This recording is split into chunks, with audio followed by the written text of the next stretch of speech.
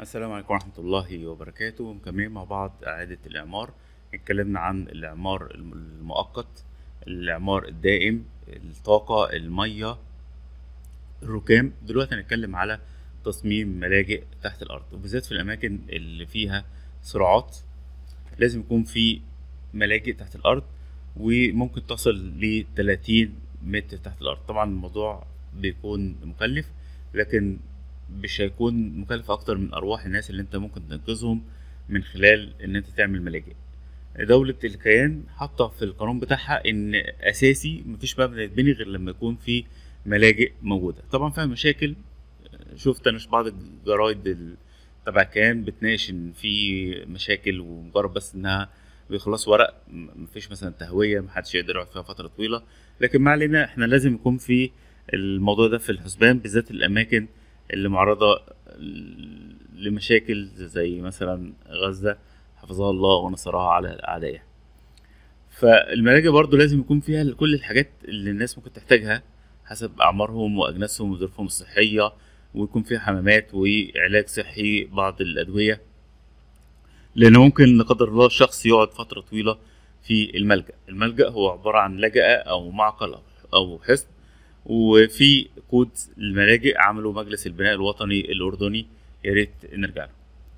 لو إحنا بصينا دي وحدة من الكيان ال- تقريبا كل ال- المستعمرات هم بيخلوا سقف باللون الأحمر بحيث إن لو في هيضربوا حاجة يبقوا عارفين إن دي تبعهم أو مش تبعهم.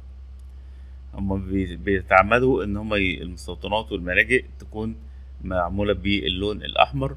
وهم كلهم بيحاولوا يبنوا المستوطنات على الجبال بحيث إن هو يكون مراقب القرى ومح- ومحدش يقدر إن هو يوصل لهم.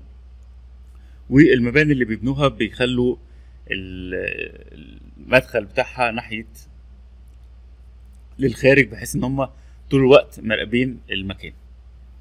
يعني هي معمولة عمارة حرب وعمارة خوف. طيب إيه الشروط اللي واجب توفرها في الملاجئ؟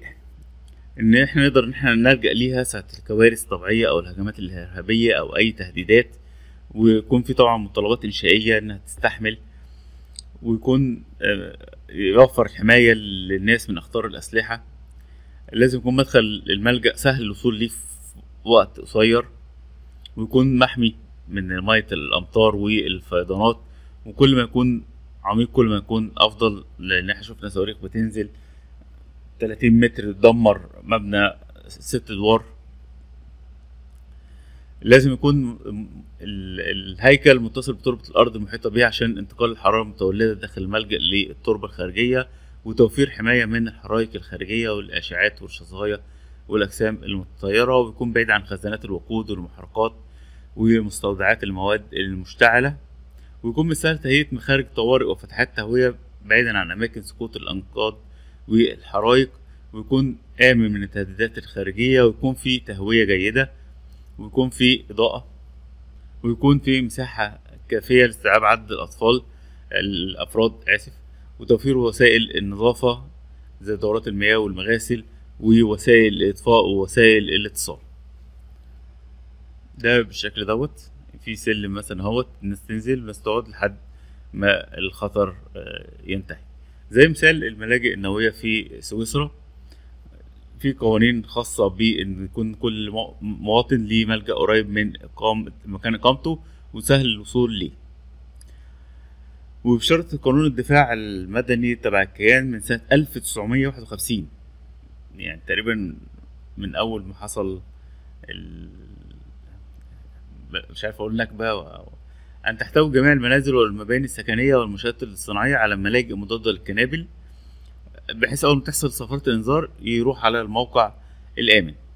وسنة 1993 كان في قانون يجبر المستثمرين العقاريين على إنشاء غرفة محصنة تعرف بمماد لأن هما في ثلاث أنواع في مماد دي ملجأ في الشقة الخاصة الواحدة ومماك ده ملجأ جماعي في موجود في مبنى خاص ومكلت ده ملجأ عام خارج المباني وموجود في الشارع.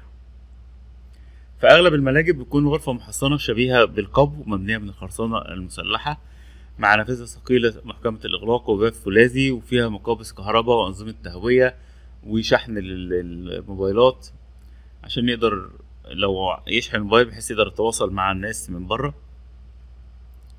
الكيان فيه تقريبا أكتر من مليون ملجأ. وفي اختيار برضو موجود في قلب القانون اللي هو قفص فولاذي داخل الغرفة موجودة بالفعل في المنزل ومغطى بطبقة أخرى من الأسمنت لأن 60% من الكيان ما عندهمش ملجأ خاص في شققهم. عشان كده بيروحوا للملاجئ العامة. أصبح دلوقتي بعض أبواب الملاجئ أوتوماتيكية. أول ما يطلق الإنذار تتفتح وت- وتتقفل بح- بحيث الناس تقعد فيها.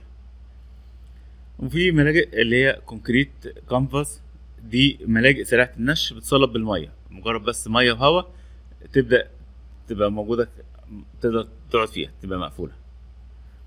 فالملاجئ دي ممكن تستخدم تحمل الأوزان ونقدر إن إحنا نشكلها بأشكال مختلفة بالشكل دوت.